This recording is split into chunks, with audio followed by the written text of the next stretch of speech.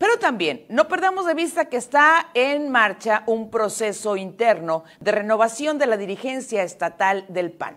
Los panistas consiguieron apenas el 11%, sí, apenas el 11% de, las, eh, de, los votos de los sonorenses que salieron o que salimos el pasado proceso electoral de junio, apenas el 11%. Muy atrás quedó aquel tiempo de triunfos, de eh, contiendas eh, muy, con mucha participación y demás.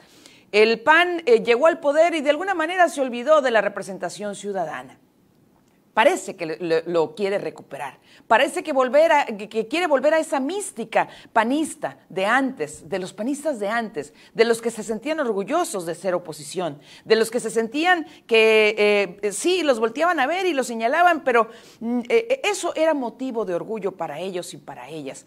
Eh, han quedado atrás esos tiempos de militancia comprometida, se fueron más por lo pragmático. Pareciera que hay intentos de querer volver de alguna manera a esa mística de militancia. Y por lo pronto aquí en el Estado, y a diferencia de lo que ha ocurrido en otros estados de la entidad, eh, perdón, de la República, en otros estados de la República, aquí en Sonora se está llevando a cabo un proceso interno para la renovación del Comité Directivo Estatal del PAN. El 5 de diciembre son las elecciones. Hay dos contendientes y coinciden en, eh, en algo Humberto Sousa y Gildardo Real Ramírez. Coinciden en algo, en el sentido de que se requiere la unidad de los panistas. Sin duda, así es. Eh, decirles de los perfiles de ambos, bueno, me parece, y es una apreciación personal, que Gildardo Real tiene una mayor trayectoria. Y además, me parece también que uno de los aciertos de Gildardo Real fue eh, conseguir planchar la conformación de un eh, comité que lo acompaña que tiene representación de los diferentes, de los diferentes grupos al interior del PAN.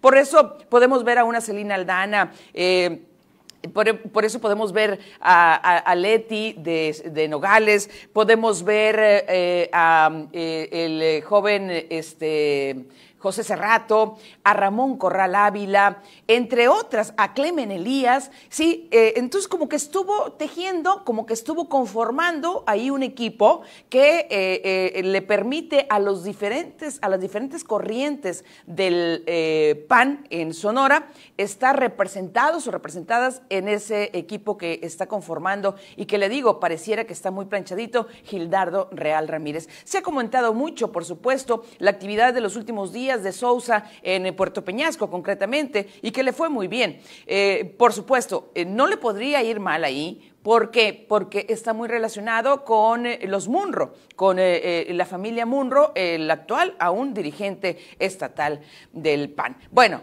lo que sí le urge al PAN, como le urge al PRI y a todos los partidos, nos conviene a la ciudadanía que sean realmente oposición, que haya eh, equilibrio, que haya, que haya discusión en los temas, ¿sí? ¿Por qué? Porque a nadie nos conviene estar bajo un régimen que nada más sus chicharrones truenan.